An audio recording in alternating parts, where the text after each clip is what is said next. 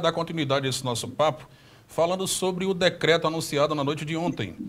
Foram lançadas algumas restrições mais severas, como é, contenção desses horários, né, isolamento social, nos dias úteis e o fechamento do comércio nos fins de semana, com exceção dos serviços essenciais. Quando muitos esperavam um possível lockdown. Quais foram os critérios, governador, adotados para essas novas medidas que começam a vigorar a partir de amanhã? Isso é feito, essa análise, é feita a análise em função dos números que nós temos disponível e, ao mesmo tempo, para que a gente tenha o menor impacto possível na economia.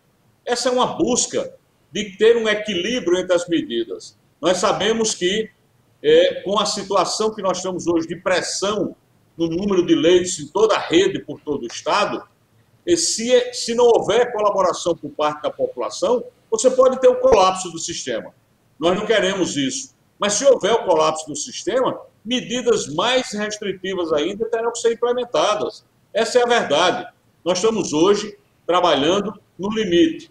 Queremos com a abertura de novos leitos, que hoje a Paraíba toda tem leitos abertos, são 408. Vamos chegar a 445, 448 leitos. Rapidamente agora, já nessa semana, nós queremos dar um novo patamar para que a gente possa enfrentar a doença. Entretanto, se não houver a colaboração da população, mais medidas restritivas terão que ser adotadas.